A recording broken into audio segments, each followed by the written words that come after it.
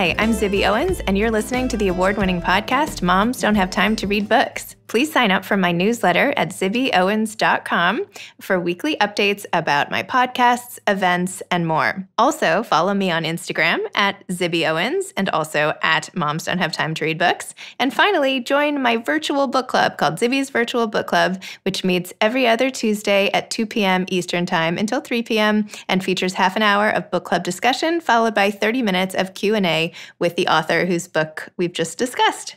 You can sign up on my website, zibbyowens.com, under the virtual book club section, or even on Instagram under the link in my bio. I hope you'll find me in all these different channels and enjoy this podcast. Hi, I don't know if you guys know this or not, but I have an anthology coming out called Moms Don't Have Time To, a quarantine anthology. And it comes out on February 16th and has essays by 60 plus of the authors who have been on this podcast. So, first of all, please pre order this book. I think you will love it. I'm so excited about all the authors who are represented. Um, just to give you a few um, Chris Bohjalian, uh, Jewell Parker Rhodes, Ashley Prentice Norton, Gretchen Rubin, Rima Zaman, Eileen Zimmerman. And that is just from the first page of the multi page table of contents. So, please pick up this book, Moms Don't Have Time to, a quarantine anthology. It's available anywhere you buy books, Amazon, bookshop.org, and your local independent bookstore. So please pick up a copy. And also, I want to invite you listeners to my um, fundraiser slash launch party the night it comes out on February 16th, a Tuesday at 7 p.m.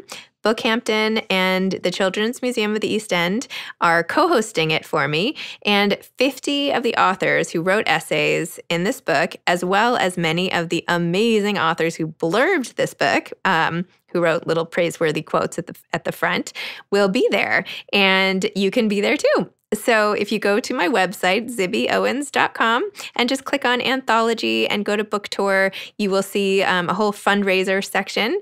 And for $50, um, you can attend. You'll get a copy of the book and you'll get to schmooze on Zoom with all of these amazing authors. This is like going to be the literary happening of February. So please come. I would love to see you all in person on Zoom, I guess, but even see some of your faces I know so many of you are really loyal listeners, and that makes me really happy. All proceeds of the book and the fundraiser are going to the Susan Felice Owens Program for COVID 19 Vaccine Research at Mount Sinai health system and it is named after my husband's mother who passed away from covid over the summer which many of you followed along on instagram as i uh, recounted that horrific experience. So all the proceeds are going there. The cost includes the price of a book. So thank you for supporting this effort and for supporting my book. I can't wait to see you there. Today's episode has been sponsored by author Jo Piazza's new podcast under the influence under the Influence is a deep dive into the mom internet, a place haunted by aspirational marketing where it feels like every other mom is a social media influencer trying to sell you something, all while posed in white kitchens that never seem to get messy with toddlers and cloth diapers that never ever leak, a bastion of carefully curated lives that are hashtag blessed.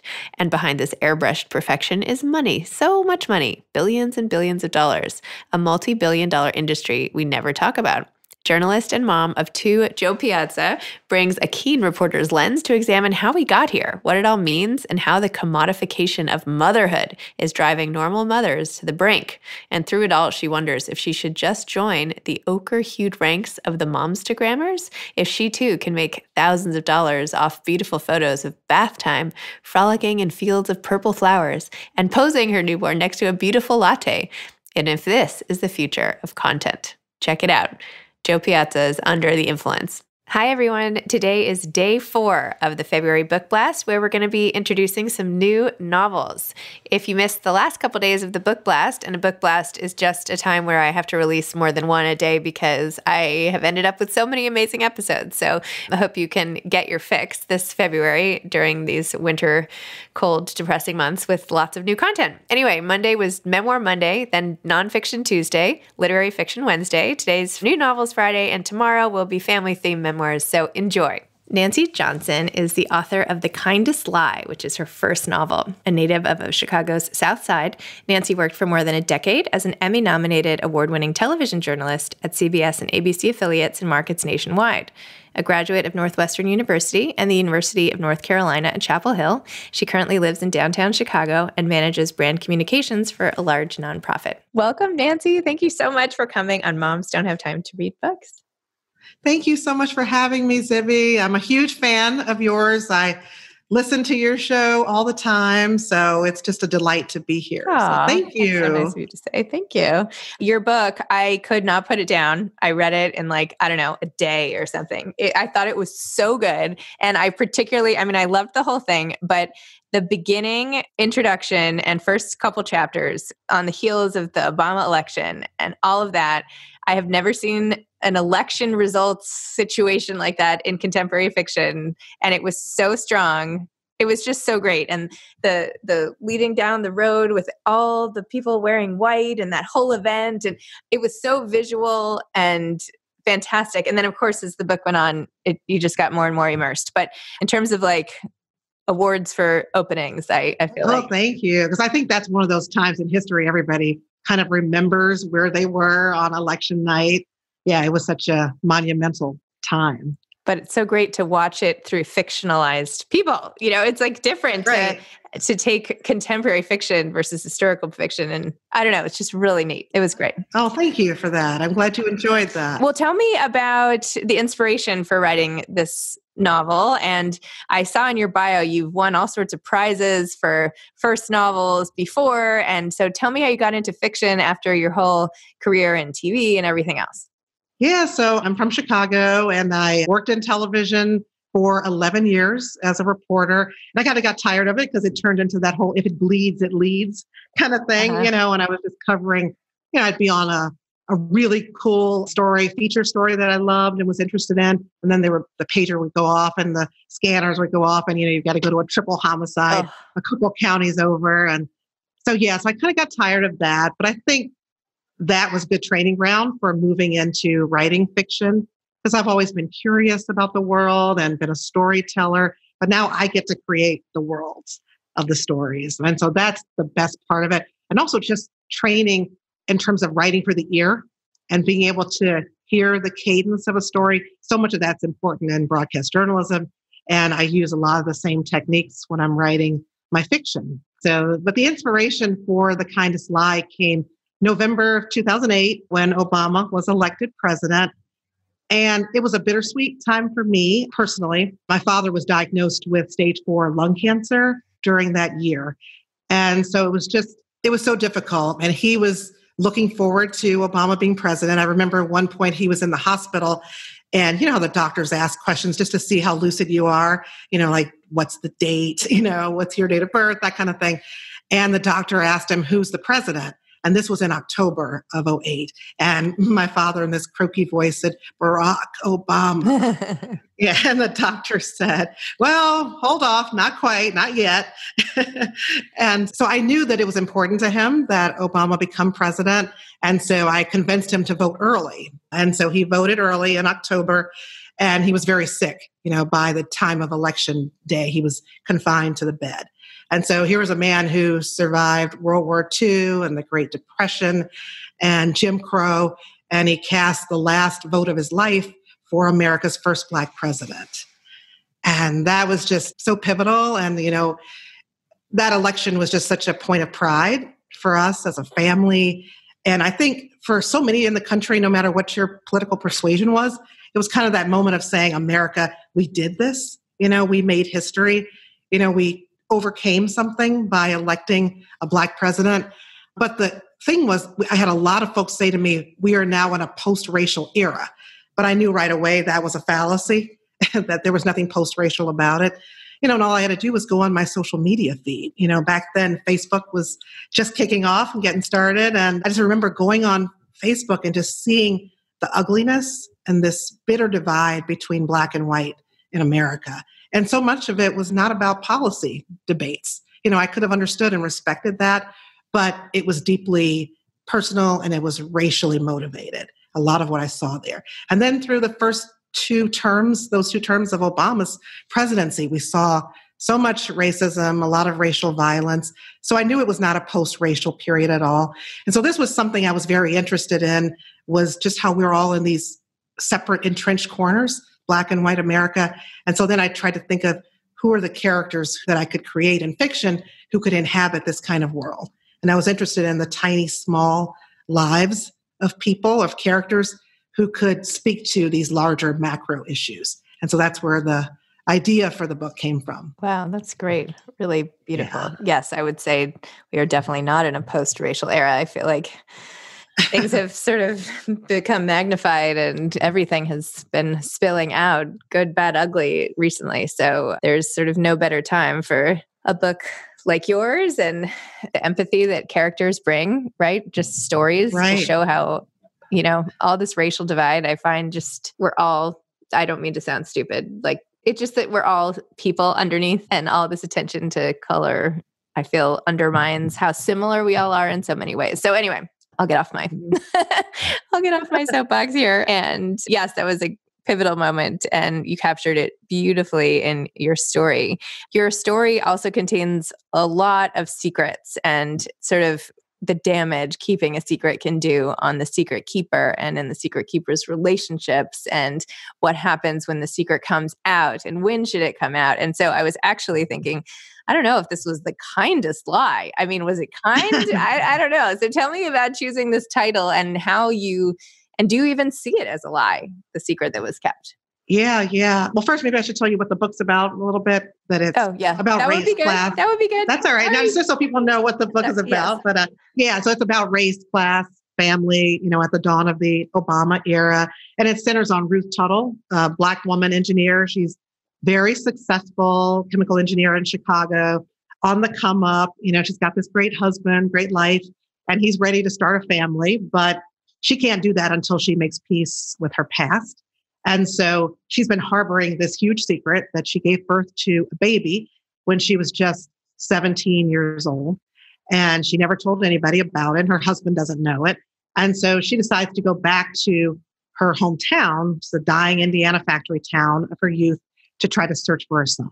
And when she gets there, she meets and forms this unlikely connection with Midnight. And it's a white boy, 11 years old. He's nicknamed Midnight. And he's adrift, also searching for his own sense of family connection. And he's really mired in that very poverty that Ruth managed to escape. And so when the two of them come together, they're just on this collision course of race and class, and it ends up just upending both of their lives. And so that's the background of the story. But the um, title, The Kindest Lie, is so interesting. I kept thinking, oh, will the publisher change the title? You know, because a lot of times you come up with a working title and then it gets changed as you go along in the publishing process, but it stuck. And so I was excited about that.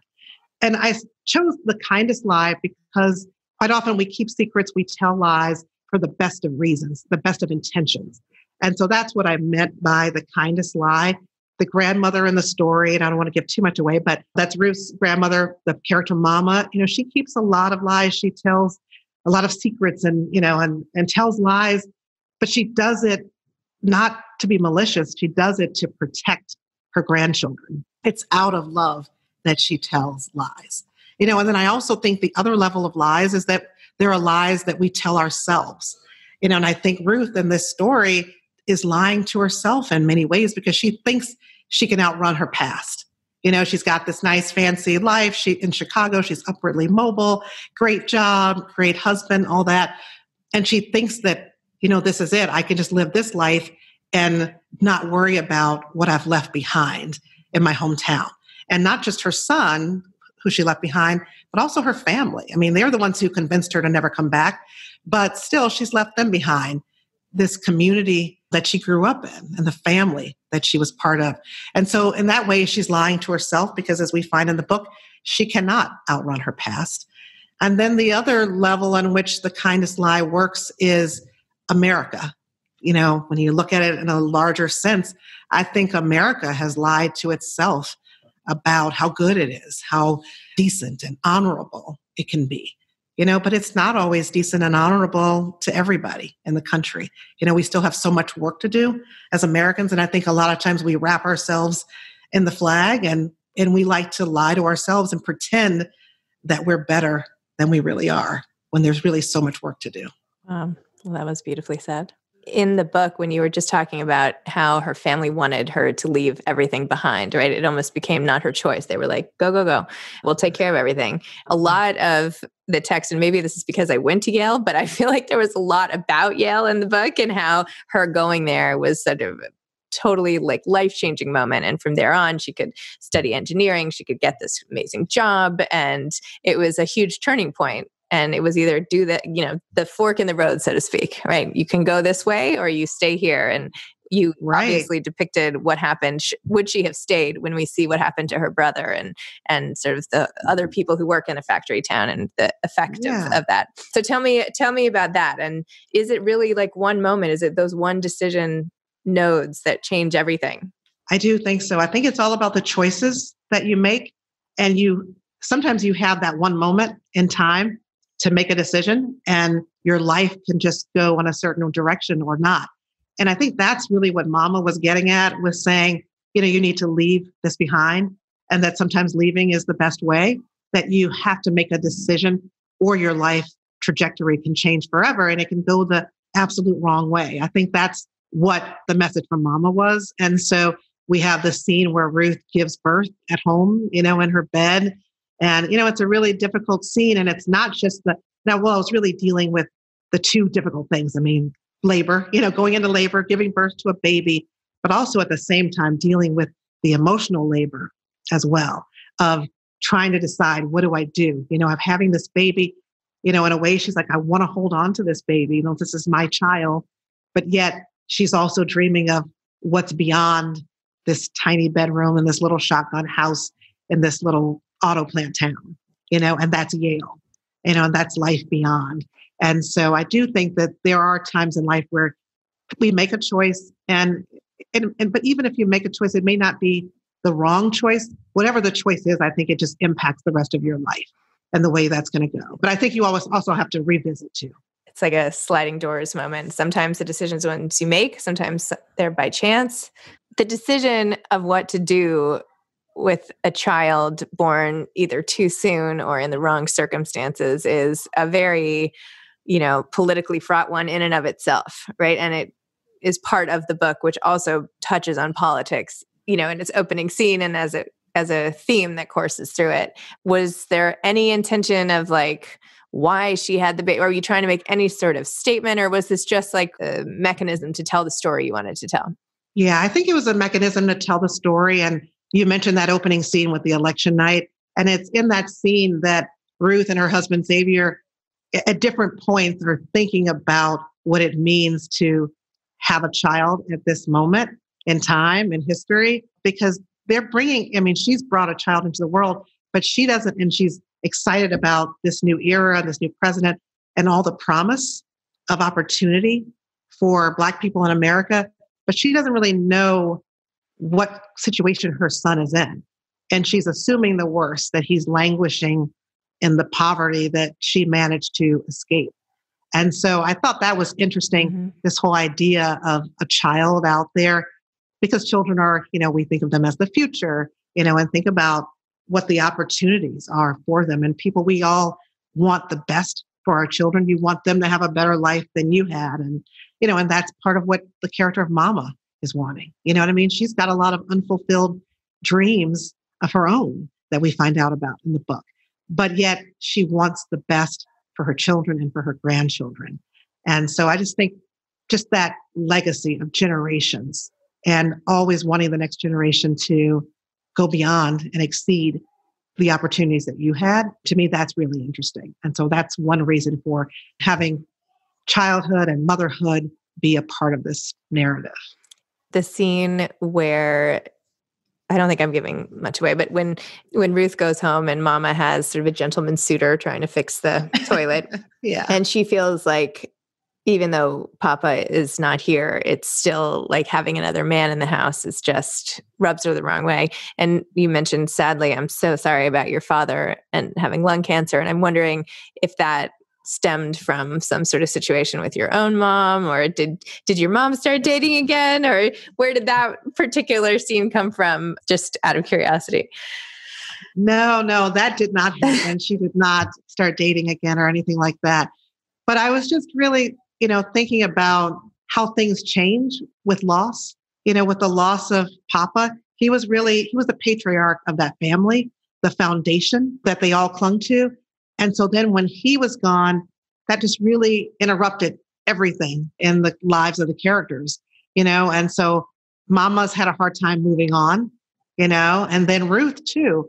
You know, Ruth was very tethered to her her grandfather, you know, and I think that's one of the reasons that she got involved with Ronald, you know, her high school boyfriend and got uh, pregnant, you know, is because she was looking for that that love, you know, and looking for that male figure in her life. And so I was just really interested in someone who's not present, but still has such a huge presence in the life of the characters in the book. And so, yeah, so it's very difficult for Mama to move on, but it's kind of like she's trying to find herself too, just as Ruth is trying to find herself, you know. And I thought it was interesting too that you've got a woman, black woman, 78 years old. You don't usually see that kind of a character on the page you know, and someone who's not just there to take care of the people in her life. You know, she's doing that, of course, but she also has a love interest, you know, and so to me, that's interesting for a woman that age to have that on the page. And she has, like I said before, unfulfilled dreams of her own, too. So she's really her own person. And I thought that was pretty cool. My grandmother recently passed away at 97, but when she was in her early 90s, someone tried to set her up with a man who was like 95 and she oh, was like wow. oh don't be silly he's way too old for me that is so cute so it just like never ends you know like That's you know just doesn't doesn't end no. tell me a little more about the writing of this book the actual writing tell me about like did you structure the whole mm-hmm. narrative mm-hmm. beforehand did you outline where and when did you write it tell me about yeah that. yeah yeah so in the writing circles people talk about being a plotter, you know, where you outline everything, or you're a pantser, or you write by the seat of your pants. I'm definitely more on the pantser side of things, so I did not outline anything. I never had an outline the entire time. But then sometimes it takes you a little longer. You know, it took me six years, but of course, this was the first book. So it takes a little longer because you don't necessarily know what you're doing and you're kind of fumbling around in the dark as you write the book. But I think as a writer, I'm definitely interested in what keeps me up at night. You know, what are the burning issues that are on my mind?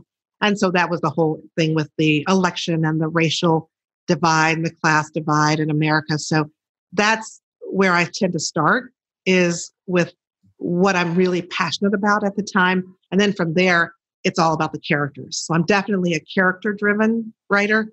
I'm really interested in delving deep into the character motivations. You know, why do they do the things they do? And, you know, what is it in their past that informs they're present. So those are the things I'm definitely get excited about as a writer. And then the ideas come to me at the most inconvenient times.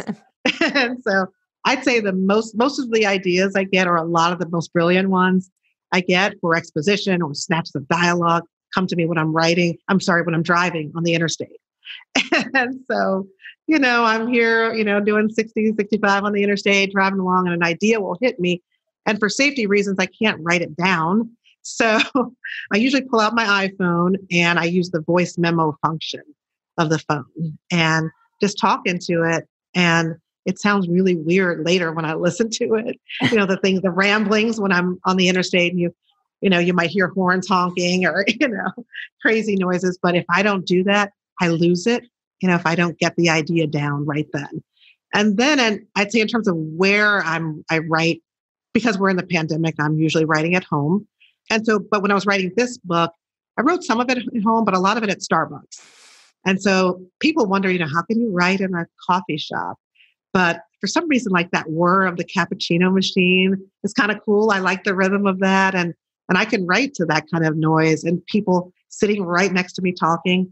And I think maybe it's by because of my news days, you know, I'm accustomed to just, you know, writing on the side of the road or in the back of the police car, you know, going on going on some kind of drug raid or wherever. It doesn't matter. I can write pretty much anywhere and block out the noise. So that's that's my writing process. So, what is your go to Starbucks drink when you're working on your writing? Funny thing is, I don't drink coffee. I don't like the taste of it. I love the smell of it, you know, but I don't like the taste of it. So I drink hot chocolate. And I'm really into things that are sweet. And so I like hot chocolate really strong, five pumps of mocha, no whipped cream Because sometimes the whipped cream cuts down on the chocolatey part I of it. Am totally with you. Chocolate. Whipped cream is a distraction. It's a total distraction from the yeah. yeah. Nah, that's okay. I love that. I, sometimes they make a mistake and they put it on there anyway, but yeah. I am a fan. I just actually tried the Starbucks peppermint hot chocolate for the holiday oh. theme, but I would not do that if I were you. But anyway. Oh, really? Okay, because that probably also cuts down on on the chocolate. Just on the chocolate, yeah, and it's all about the chocolate. The best thing at Starbucks, and then I'll get back to your writing, is the chocolate covered almonds. Have you ever had them there?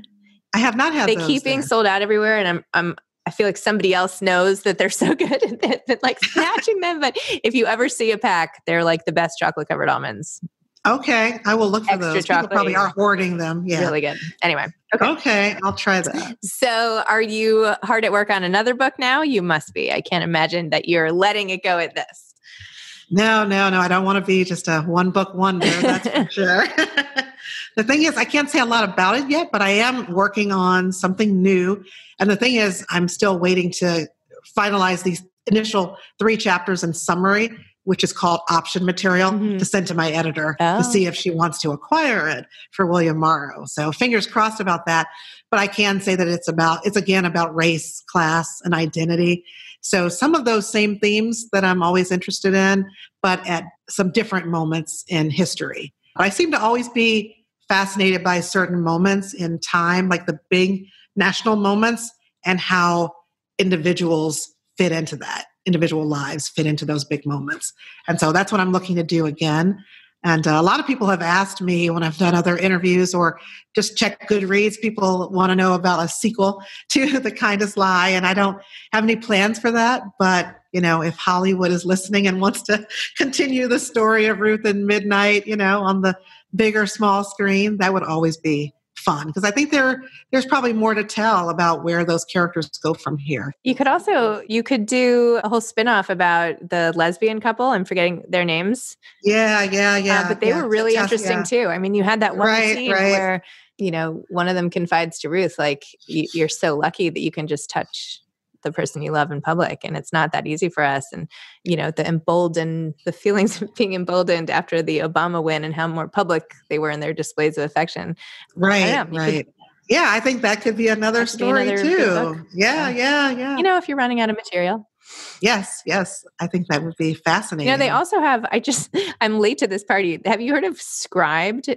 It's like, no, what is that? So I'm even later than you to the party. No, it's a whole, it's like a they have audiobooks and books and it's almost like audible in a way but they summarize they'll have articles excerpts. Anyway my point is they have scribd originals and they're like 10,000 ah. words.